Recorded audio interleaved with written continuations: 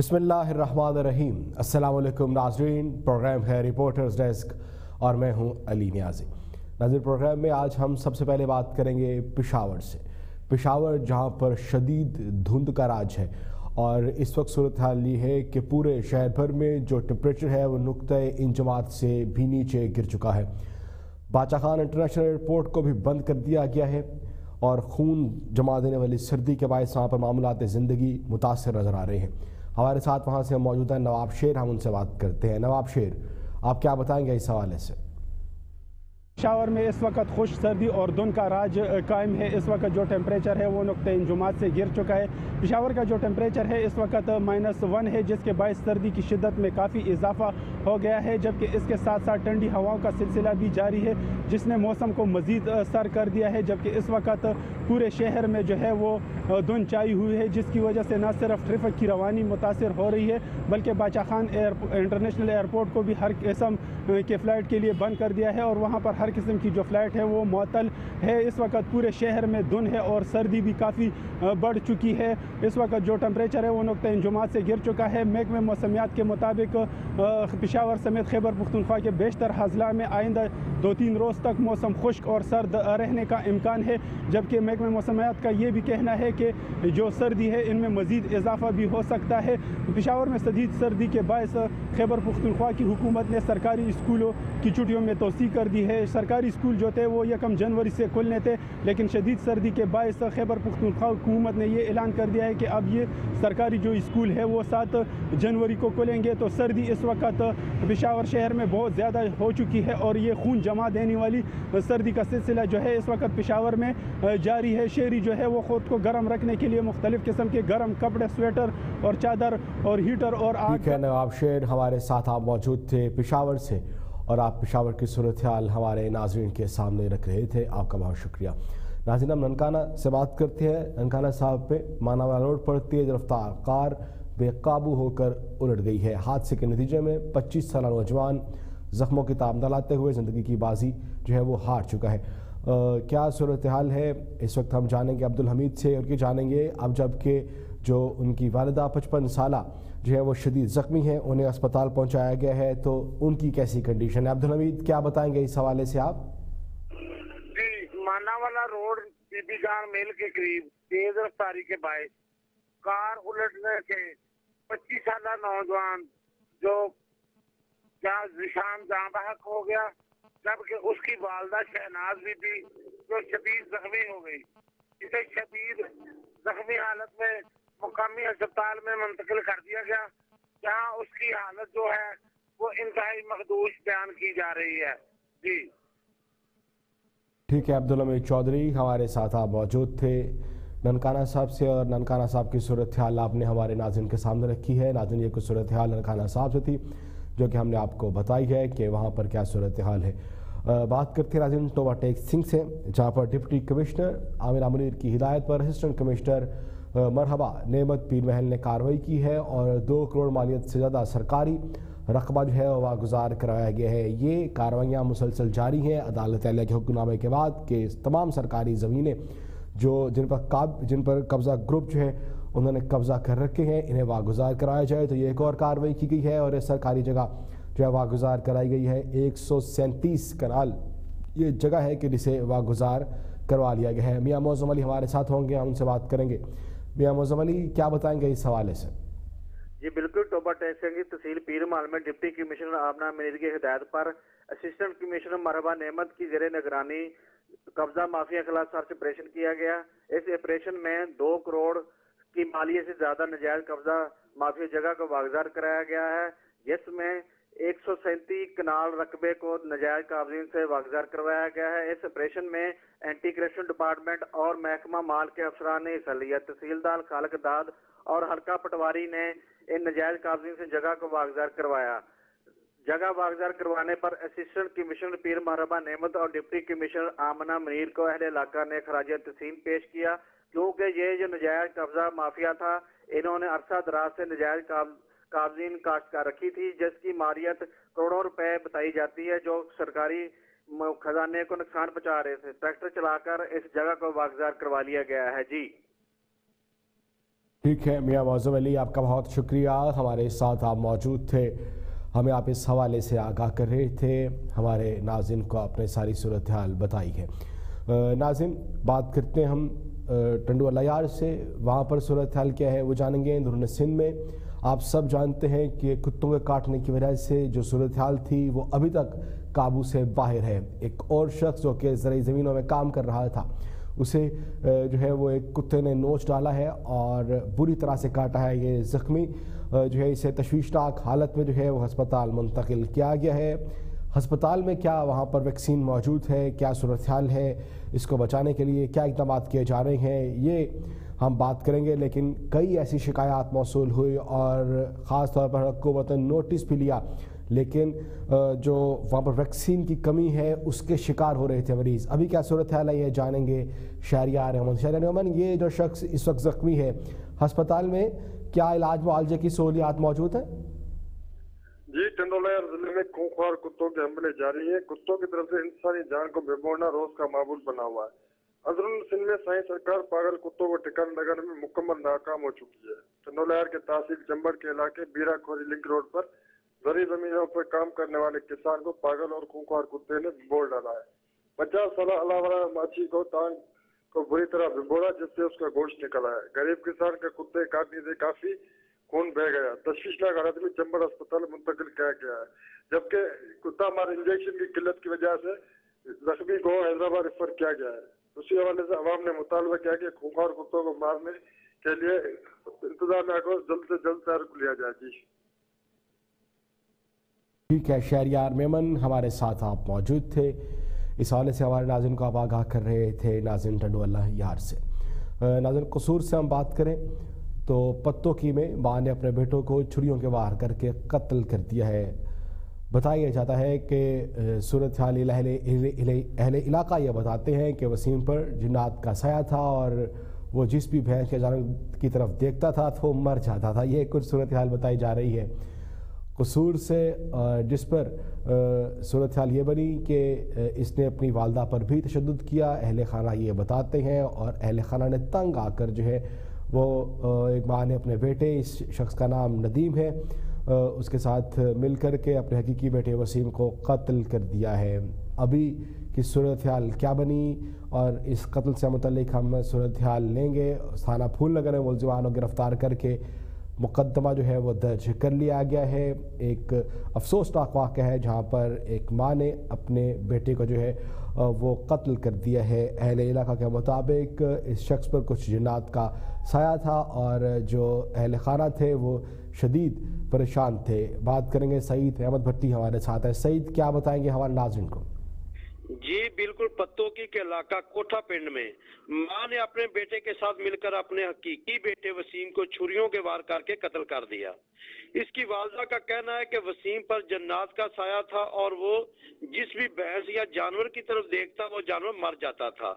اور اس میں جنات آنے کی وجہ سے مجھ پر بھی شدید تشدد کیا تھا۔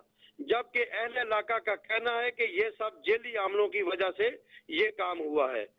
پولیس نے جمیلہ بی بی اور اس کے بیٹے ندیم کے خلاف ایف آئی آر درج کر کے انہیں گرفتار کر لیا ہے اور مزید تفتیش جاری ہے۔ جی۔, جی ٹھیک ہے بہت شکریہ۔ سعید بھٹی ہمارے ساتھ آپ موجود تھے، ہمیں آپ اس حوالے سے آگاہ کر رہے تھے۔ ناظرین، کچھ صورتحال قصور سے جو کہ ہم نے آپ کے سامنے رکھی ہے۔ ماناوالا سے بات کر لیتے ہیں۔ ماناوالا، جہاں پر چور اور ڈاکو بے لگام ہیں۔ صورتحال اس حوالے سے ہم بات کریں گے، لیکن اس وقت ہم آپ کو بہ راست لیے چلیں گے اسلام آباد، جہاں پر نمائندہ خصوصی برائے اطلاعات فردوسہ شکوان میڈیا سے گفتگو کر رہی ہیں۔ میں اس کاوش میں ہماری جتنی ٹیم میڈیا سمیت یہاں موجود ہے، میں اسے خراج تحسین پیش کرتی ہوں۔ اور یہ وہ اثاثہ ہے یہ آپ وہ لیگیسی ہے جسے اگلی نسل تک منتقل کرنا ہمارے فرائض اور ذمہ داریوں میں شامل ہے۔ اس قیمتی اثاثے کو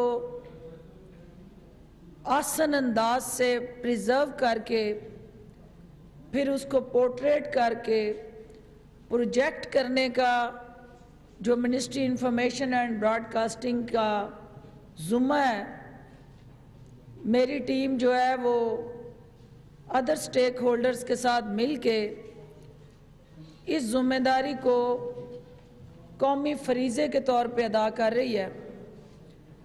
قائد کا ویژن، قائد کا مشن، قائد کی کمٹمنٹ قائد کی اپنی کاز کے ساتھ جڑی ڈیڈیکیشن اور اور ڈیووشن اس کی جھلک ان تصویروں میں دکھائی دیتی ہے۔ اور قائد نے اس وقت ہندو سامراجی مائنڈ سیٹ کو جس انداز سے پڑھا تھا اور پھر دو قومی نظریے کا جس طرح سے انہوں نے پرچار کیا تھا ہم نے کتابوں میں اور اپنی تاریخ میں تو اس کو پڑھا تھا، لیکن وہ نسل ہماری جو ان رویوں کو وٹنس نہیں کر سکی تھی اور وہ قائد کے افکار سے اس نظریے کو جانتی تھی،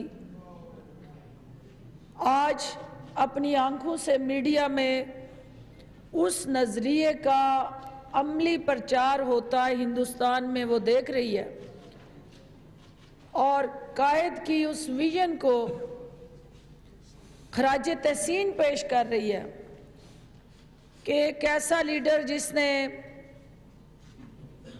اس وقت دنیا کو باور کروایا تھا کہ یہ ہندوستانی اس وقت کی جو ہندوتوا اور آر ایس ایس کی آئیڈیالوجی تھی، وہ کس طرح ایک انتہا پسند کی سوچ کو آگے لے کے مائنورٹیز کے لیے اور وہاں بسنے والے خصوصی طور پہ مسلمانوں کے لیے کس طرح فیوچر میں چیلنج بنیں گی؟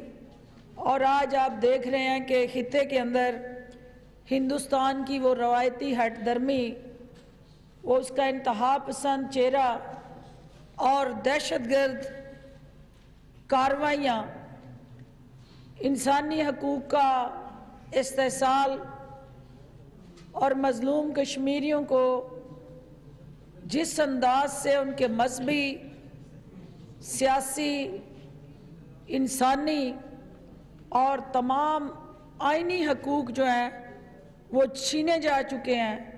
اس کی لہر جو ہے آپ پورے ہندوستان میں دیکھ رہے ہیں۔ تو آج اس حوالے سے بھی قائد کے اس ویژن کو ہم خراج تحسین پیش کرتے ہیں کہ ایک عظیم لیڈر نے ان تمام ارادوں کو بھانپتے ہوئے دنیا کے سامنے جو دو قومی نظریہ جو ہے، اس کو پلیڈ کیا تھا۔ آج ہندوستان نے اس پہ منوان عمل کر کے قائد کی اس سوچ، فہم و فراست اور ویژن پہ مور ثبت کر دی ہے۔ آج اسی نمائش کے ذریعے ہم نہ صرف قائد کا جو کشمیریوں کے ساتھ ایک رشتہ تھا، ایک ان کے بنیادی جغرافیکل جو رائٹس تھے، جو ان کی شناخت تھی، اس کو پروٹیکٹ اور پرزرو کرنے کا اس نمائش کے اندر خصوصی اہتمام کیا گیا اور اسی نمائش میں جد و جہد آزادی میں قائد کی دور اندیشی اور ویژن کو اگلی نسل تک پہنچانے کے لیے ایک ٹھوس کوشش کی گئی ہے۔ آج ہمیں سماجی اخلاقی، مالی اور سیاسی برتری اور اعلیٰ ترین کارکردگی کے لیے قائد کے افکار کی روشنی میں متحد ہونا ہے، تو میں آپ سب کی شکر گزار ہوں۔ خاص طور پہ آج قائد کے اس نمائشی جو ہمارا ایگزیبیشن کے اندر کمٹمنٹ سے جڑا جو رشتہ ہے، جب ہم نئے پاکستان میں اس کو تلاش کرتے ہیں، تو آج قائد کا پاکستان جو ہے، الحمدللہ عمران خان کی شکل میں قائد کا پاکستان محفوظ ہاتھوں میں ہے۔ قائد کی ریاست ریاست پاکستان جو ہے، وہاں جو پاکستان بنانے کے لیے قائد نے جد و جہد اس کو عملی تعبیر دینے کے لیے وزیر اعظم عمران خان ریفارمز کی طرف روانہ ہوا ہے۔ ہر شعبے کے اندر گلے سڑے نظام کے خاتمے کے لیے دور حاضر کے جدید تقاضوں کے مطابق ریفارم ایجنڈا متعارف کروایا جا رہا ہے۔ اور پاکستان کے اندر معاشی محاذ پہ وہ اکنامک ریفارمز ہوں، لیگل ریفارمز ہوں سوشل ریفارمز ہوں، پولیٹیکل ریفارمز ہوں، اور ہر وہ انیشیٹو جو عام پاکستانی کی شہری کے زندگی کے اندر بہتری لانے کا سبب بنے، ہر وہ قدم موجودہ حکومت وزیر اعظم عمران خان کی قیادت میں اٹھا رہی ہے۔ ابھی یہاں آنے سے پہلے میں سن رہی تھی کہ کچھ لوگوں کو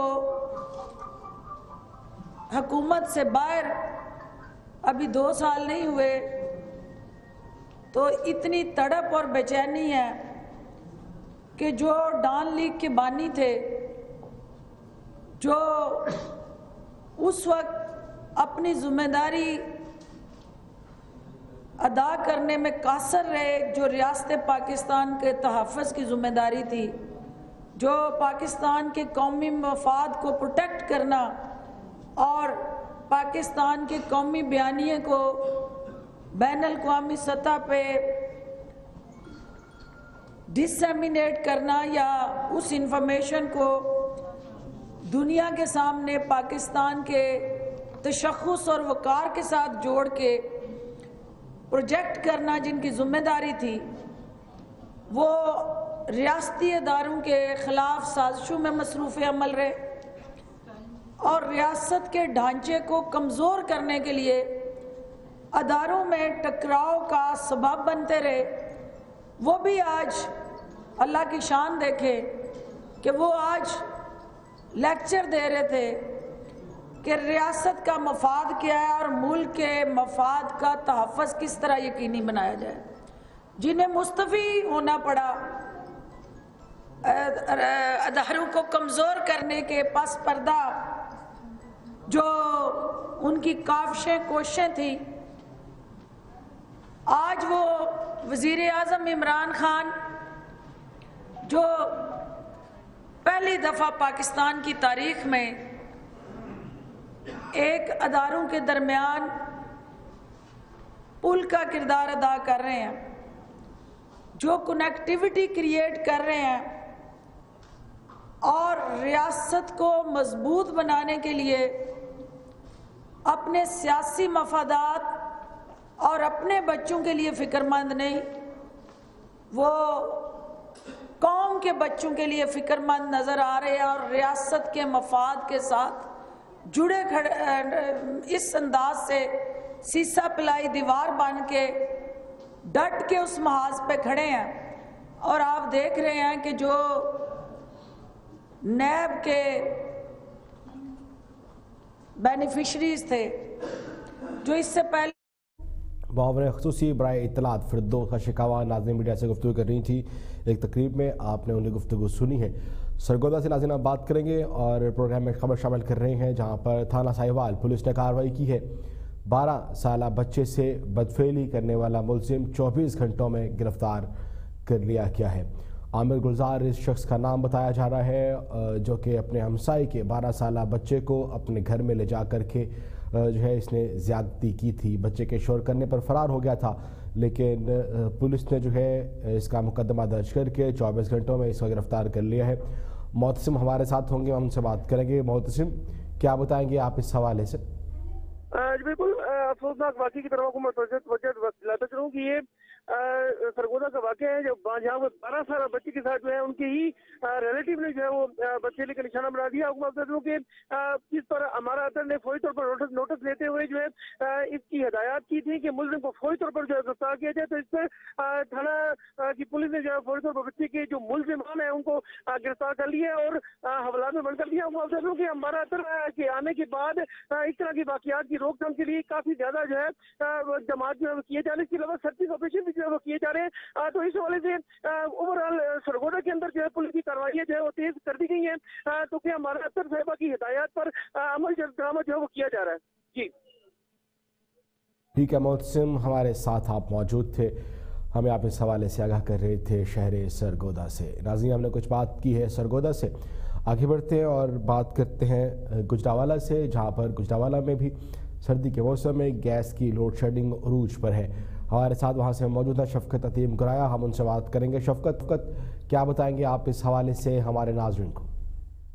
بالکل سردی کا موسم شدید ہوتا جا رہا ہے اور اس وقت صورتحال یہ ہے کہ ریکارڈ توڑ سردی پڑ رہی ہے، جبکہ دوسری طرف صورتحال یہ ہے کہ گیس کی لوڈ شیڈنگ کی وجہ سے جو عوام ہیں، وہ ان کو کھانا بھی میسر نہیں آتا ان کے بچے بھوکے سکولوں کو میں جاتے ہیں۔ اسی طرح جو ملازمین ہیں، وہ بھوکے دفاتر کو جاتے ہیں، کارخانوں میں مزدور جاتا ہے۔ لیکن عوام کے ساتھ ساتھ جو گیس محکمہ ہے، ان کا یہ کہنا ہے کہ گیس جو ہے ہم پوری نہیں کر سکتے۔ حکومت کو چاہیے کہ اس کا بندوبست کرے، متبادل انتظام کرے۔ اور اسی طرح اگر یا سلنڈر گیس کی بات کی جائے تو اس کی بھی صورتحال یہ چلتی جا رہی ہے کہ ہنڈر پرسنٹ اس کے ریڈ بڑھ چکے ہیں۔ عوام سلنڈر جلانے کے بھی قابل نہیں رہے۔ مزدور طبقہ جو ہے وہ آج بھوکے مرنے کے قریب ہو چکا ہے۔ شہریوں کا حکومت سے یہ مطالبہ ہے کہ گیس کے حوالے سے سلوڈ شیڈنگ کو ختم کیا جائے تاکہ عوام ٹھیک ہے شفقت ندیم گرایا ہمارے ساتھ آپ موجود تھے گجراوالہ سے اور گجراوالہ کی صورتحال ہمارے ناظرین کے سامنے آپ رکھ رہے تھے۔ خانے والے سے ناظرین بات کرتے ہیں جہاں پر بجلی کے بڑھتے ہوئے ریٹ سے کمرشل صارفین پریشان نظر آ رہے ہیں۔ اور حکومت سے ان کی شکایات جو ہے ان کے امبار لگ چکے ہیں۔ ہمارے ساتھ وہاں سے موجود ہیں جاوید خان، ہم ان سے بات کرتے ہیں۔ جاوید خان، کیا بتائیں گے اس حوالے سے؟ بالکل، بجلی کی بڑھتی ہوئی قیمتوں سے جہاں گھریلو صارفین سخت پریشان نظر آ رہے ہیں، وہاں پر ہی کمرشل صارفین سخت اذیت کا شکار ہیں۔ کاروباری حضرات بڑھتی ہوئے اخراجات کو کنٹرول کرنے میں مشکلات کا شکار ہیں۔ جن سے ان کی جہاں ایک طرف آمدن کم ہوئی ہے تو دوسری طرف جو کسٹمر ہے، ان پر مہنگائی کی وجہ سے بوجھ پڑا ہے، جس کی وجہ سے وہ تاجر حضرات کے پاس آنا ان کے لیے مشکل ہوتا جا رہا ہے۔ ہمارے ساتھ ایک تاجر موجود ہے، ہم ان سے جانیں گے کہ بجلی کے جو حالیہ ریٹ کی بڑھنے کی وجہ سے کاروبار کتنا متاثر ہوتا نظر آ رہا ہے اور اس سے جو ہے وہ کسٹمر کتنے حد تک متاثر ہوگا۔ جی السلام علیکم جی۔ وعلیکم السلام۔ جی یہ بجلی کے ریٹ جو بڑھے ہیں، حکومت نے کمرشل اور گھریلو صارفین کے ریٹ بڑھائے ہیں۔ فی یونٹ ایک روپے بیاسی پیسے، اس سے کاروبار کتنا متاثر ہو رہا ہے؟ دیکھیے، کاروبار تو اس سے بہت زیادہ متاثر ہو رہا ہے۔ اتنا ہمارا استعمال بھی نہیں ہے، صرف تیس یونٹ ہمارے اس مہینے کے چلے ہیں اور اٹھارہ سو چوہتر روپے کا بل ہے۔ ہمیں تو یہ سمجھ نہیں آتی کہ بل بھریں کہ کیا کریں۔ ملازم جو ہیں، ہمارے ہمارے سے ان کی سیلریاں بھی پوری نہیں ہوتی۔ ہم اپنے آفس کو چلانے کے لیے ان کی سیلریاں نہیں پے کر سکتے، اس لیے ہمیں مجبوراً ملازمین کو بھی فارغ کرنا پڑا ہے یہاں سے۔ جی بالکل تاجر حضرات کا کہنا ہے کہ ایک طرف جہاں پر ہمارے پاس کسٹمر آنا بند ہو گئے ہیں تو دوسری طرف ہمارے پاس جو ملازمین تھے ہم ان کے اخراجات برداشت نہ کرنے کی وجہ سے ہم ان کو فارغ کرتے جا رہے ہیں جس کی وجہ سے ملک میں جو ہے بے روزگاری بھی بڑھے گی اور بے روزگاری کے ساتھ ساتھ جو مہنگائی ہے وہ بھی لوگوں پر اس کا بوجھ جاوید خان ہمارے ساتھ آپ موجود تھے ہم آپ اس حوالے سے آگاہ کر رہے تھے۔ ناظرین ماناوالا سے ہم بات کر لیتے ہیں جہاں پر ماناوالا میں اسٹریٹ کرائم میں اضافہ ہوتا چلا جا رہا ہے چور اور ڈاکو جو ہیں وہ بے لگام۔ شہر میں دھندن آتے پھر رہے ہیں۔ پانچ مسلح ڈاکور جو ہے وہ تین لاکھ پچاس ہزار پچاس ہزار روپے نقدی جو ہے وہ لے کر فرار ہو گئے ہیں۔ اور اس طرح کی رہزنی کی وارداتیں جو ہیں وہ بڑھ رہی ہیں۔ یہ فوٹیج جو ہے، یہ ہم، یہ بھی ہم آپ کو دکھا رہے ہیں۔ ہمارے ساتھ موجود ہیں۔ رانا مدثر ہم ان سے بات کرتے ہیں۔ مدثر، کیا بتائیں گے اس حوالے سے ہمارے ناظرین کو؟ ماناولا میں چور ڈاکو بالکل بے لگام ہو چکے ہیں۔ پولیس نام کی کوئی چیز یہاں پر نظر نہیں آ رہی۔ اور یہاں پر دو مرتبہ یہ، جو دکان ہے غلام سیر پینٹ کی اور ایزی پیسے کی، یہاں پر دو مرتبہ پہلے بھی ڈکیتی کی وارداتیں ہو چکی ہیں اور پلیس نے صرف مقدمے درج کی ہیں۔ اور ان کے وہ جو ذمہ دار تھے ڈاکو، ان کو ابھی تک نہیں پکڑا۔ اور تیسری مرتبہ ان کی وہ ڈکیتی کی واردات ان کی ہوئی ہے۔ اور پولیس نے مقدمہ تو درج کر لیا ہے، لیکن ملزمان جو ہے وہ پکڑ میں بالکل قاصر نظر آ رہی ہے۔ اور آپ کو میں بتاتا چاہوں کہ یہ جو سی سی ٹی وی فوٹیج ہے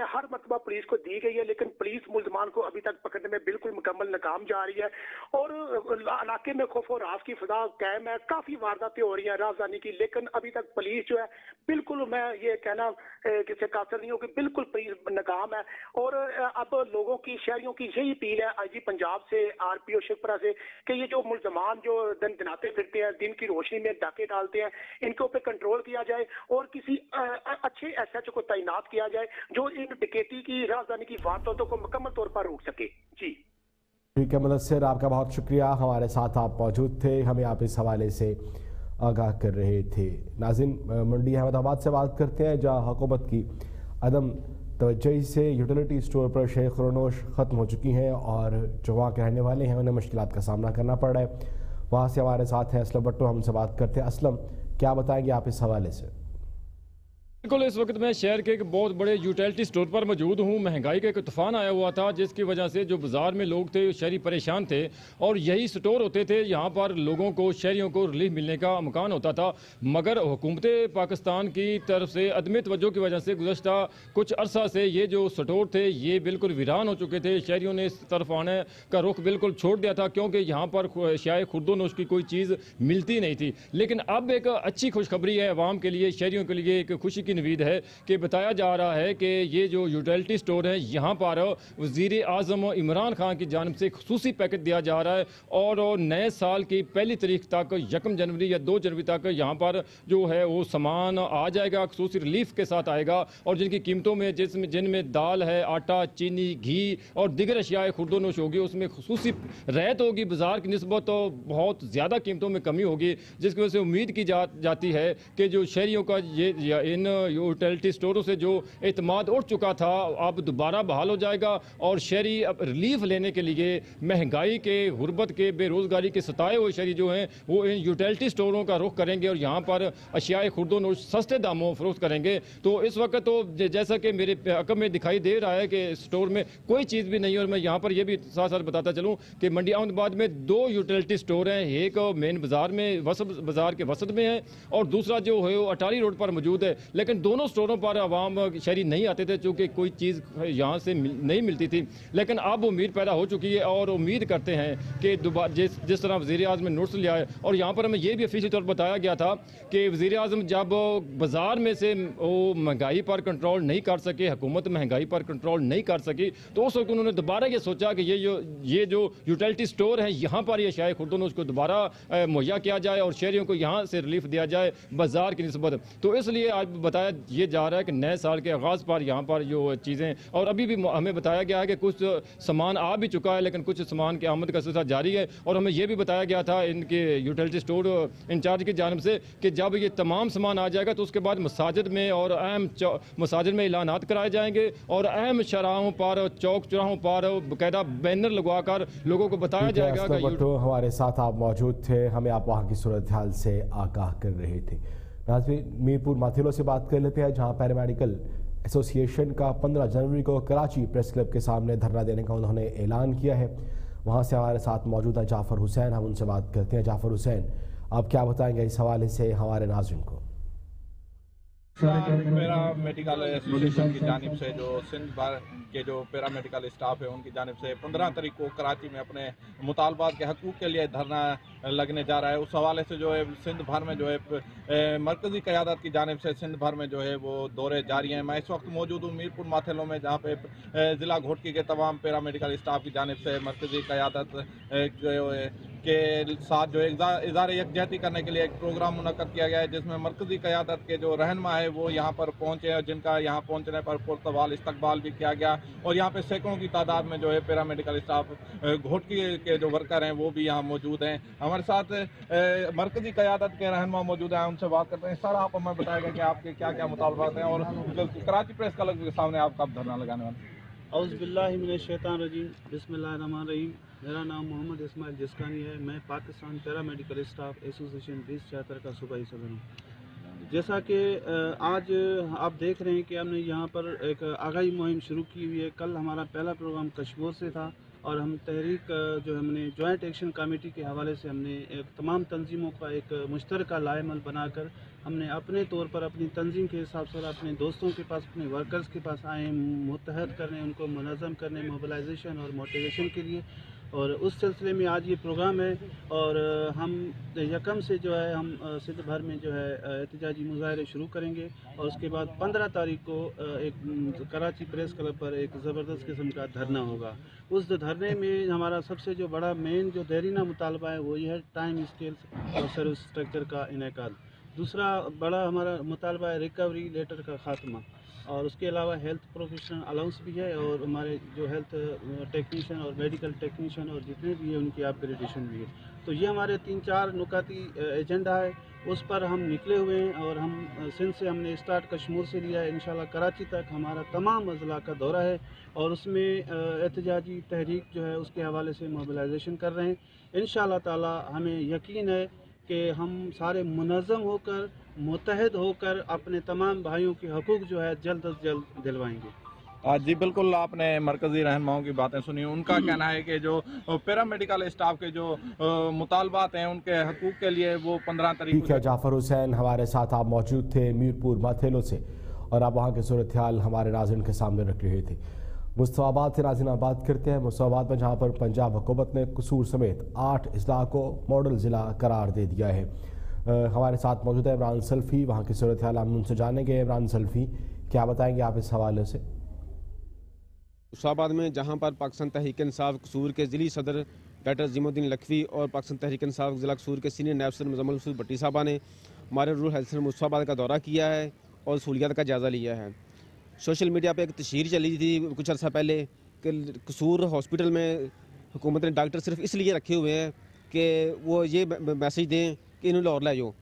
تو اس والے سے ڈاکٹر لکھوی صاحب سے جانتے ہیں کہ جو سیلز کی سہولیات ہیں، اس وقت قصور میں ان کا کیا کیا صورتحال ہے؟ جو model rural health centre Mustafa کا آپ نے دورہ کیا ہے، آپ نے سہولیات کو کس انداز میں پایا؟ جی۔ بسم اللہ الرحمن الرحیم۔ بہت شکریہ آپ کا، آپ حضرات یہاں تشریف لائے ہوئے ہیں۔ ہم نے بیگم صاحب مسعود بھٹی صاحبہ کے ساتھ ابھی معائنہ کیا ہے اور یہ بالکل اچانک اس کا وزٹ تھا۔ اور ہم نے دیکھا ہے کہ یہاں صفائی ستھرائی کا نظام جو ہے بالکل ٹھیک ہے مریضوں سے باتیں کی ہیں مریض بھی یہاں پہ مطمئن نظر آتے ہیں اور لیبارٹری اور جو ادویات کی سپلائی ہے اس میں بھی کوئی شکایت سامنے نہیں آئی۔ مریض بھی ایک لیبر روم میں بھی موجود تھا وہ بھی اس کا بھی ٹھیک علاج ہو رہا ہے۔ تو لہٰذا عوامی شکایات اپنی جگہ پہ عوام کو شکایات ہوتی ہیں۔ اور اگر کوئی ہو تو اس کو اس کی ریڈریسل اور اس کا ازالہ بھی ضرور ہونا چاہیے لیکن بظاہر یہاں پہ تمام کام ٹھیک انداز میں اور بلکہ اچھے انداز میں ہو رہا ہے۔ آپ بتا رہے ہیں کہ قصور کو ماڈل صحت کے والے سے ماڈل قرار دلوایا گیا ہے اور جو ماڈل قرار دیا گیا اس کے بعد کیا تبدیلی آپ دیکھ رہے ہیں کہ قصور میں عوام کو سہولیات کس انداز تک ملیں گی؟ ہاں جی اس میں جس سینٹر میں ہم موجود ہیں یہ تو پہلے ہی ماڈل سینٹر ہے۔ تو ہمارے ہاں جو رورل ہیلتھ سینٹر تھے، وہاں پہ جو بہت ساری سہولیات موجود نہیں تھیں پہلے۔ تو حکومت پنجاب اور وزیر اعلیٰ پنجاب نے آٹھ ضلع ماڈل قرار دیے تھے صحت کے حوالے سے۔ تو اس میں سے ایک ضلع قصور بھی ہے۔ تو اس ماڈل ضلع ہونے کے حوالے سے ہم نے یہاں کے جو بقیہ آر ایچ سیز تھے رورل ہیلتھ سینٹرز ان میں اضافی وارڈز تعمیر کروائے ہیں، جن میں بچوں کا وارڈ اور گائنی کے وارڈ شامل ہیں۔ اور وہ وارڈ جو ہیں اب پایا تکمیل تک پہنچنے والے ہیں اور یہاں پہ جو نیا عملہ بھی تعینات ہوگا، وہ اس عملے کے علاوہ ہوگا جو پہلے یہاں سے کام کر رہے ہیں۔ اس میں گائنا گائنی کی ڈاکٹرز بھی ہوں گی اور بچوں کے ڈاکٹر بھی اور دیگر عملہ بھی شامل ہوگا۔ اور وہ ایمرجنسی سہولیات یعنی چوبیس گھنٹے کی سہولیات اس میں رورل ہیلتھ سینٹر میں دی جائیں گی۔ اس کے علاوہ جو بیسک ہیلتھ یونٹس ہیں۔ کیمران سلفی ہمارے ساتھ آپ موجود تھے۔ ہمیں آپ وہاں کے صورتحال سے آگاہ کر رہے تھے۔ ناظرین بات کرتے ہیں حیدرآباد سے جہاں پر نہروں کی صفائی کے نام پر پانی کی بندش جو ہے اس کا سامنا کرنا پڑ رہا ہے۔ کسانوں کو لوگ پریشان نظر آ رہے ہیں۔ عدل رضا عباسی ہمارے ساتھ ہیں۔ عدل رضا عباسی کیا بتائیں گے اس حوالے سے؟ نہروں کی صفائی کے نام پر ہر سال جو ہے محکمہ ایریگیشن پندرہ دن کی پانی کی بندش کا تو اعلان کر دیتا ہے، لیکن اس کے بعد آپ دیکھ سکتے ہیں کہ کسی بھی قسم کی کوئی نہروں کی صفائی جو ہے وہ نہیں ہوتی ہے۔ پانی تو بند کر دیا جاتا ہے۔ اسی طریقے سے جو نہریں ہیں جو وہ نیچے بھی ہو جاتی ہیں، ان کا پانی بالکل نیچے ہو جاتا ہے۔ لیکن نہروں کی صفائی کے نام پر جو یہ بندش کی جاتی ہے پانی کی، وہ کبھی بھی جو ہے اس کی نہروں کی صفائی نہیں ہوتی ہے۔ اب یہ بجٹ کہاں جاتا ہے؟ کدھر جاتا ہے؟ یہ ایک سوالیہ نشان ہے۔ آپ کو بتاتے چلیں کہ اس وقت ہم موجود ہیں پھلیلی نہر کے اوپر اور آپ کو یہ بھی بتاتے چلے کہ ہم یہ پھلیلی نہر جو ہے اس کے علاوہ جو تین پھلیلیاں جو ہیں حیدرآباد میں تو یہ جو نہریں ہیں باقاعدہ یہ اندرون سندھ بھی جا رہی ہیں وہاں پہ جو ہے ان نہروں کے پانی سے کھیتی باڑی کا نظام بھی چلتا ہے اور یہی پانی جو ہے وہ پینے کے استعمال میں بھی آتا ہے۔ آپ کو یہ بھی بتاتے چلیں کہ ذرائع کے مطابق یہاں پر جو ہے کہ جو پانی کا سیمپل جو بھیجا گیا تھا اسلام آباد میں تو اس کے اندر پولیو وائرس کی بھی تصدیق ہوئی ہے۔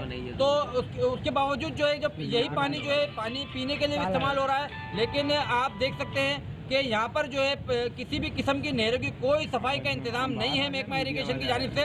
اور آپ کو ہم یہ بتاتے چلیں کہ اس نہر کے اندر جو ہے مرے ہوئے جانور بھی پائے جاتے ہیں۔ اسی طریقے سے جو علاقہ مکین ہے، ان کا جو سیوریج کا جو سسٹم ہے سارا وہ بھی پانی اسی نہر میں گر رہا ہے اسی طریقے سے جو یہاں پر فیکٹریاں قائم ہیں ان کا جو زہریلا پانی ہوتا ہے جو زہریلا مواد ہوتا ہے وہ بھی جو ہے وہ انہی نہروں کے اندر گر رہا ہے۔ واٹر کمیشن نے بہت اقدامات کیے تھے لیکن اس کے بعد ان جو سارے اقدامات تھے وہ پسے پردہ چلے گئے اور اس کے بعد دوبارہ جو ہے کہ اس کے اندر وہی جو ہے حال ہے۔ یہاں پہ ہمارے ساتھ علاقہ مکین بھی کچھ موجود ہیں ان سے ہم بات کر لیتے ہیں کہ ان کا کیا کہنا ہے اس حوالے سے۔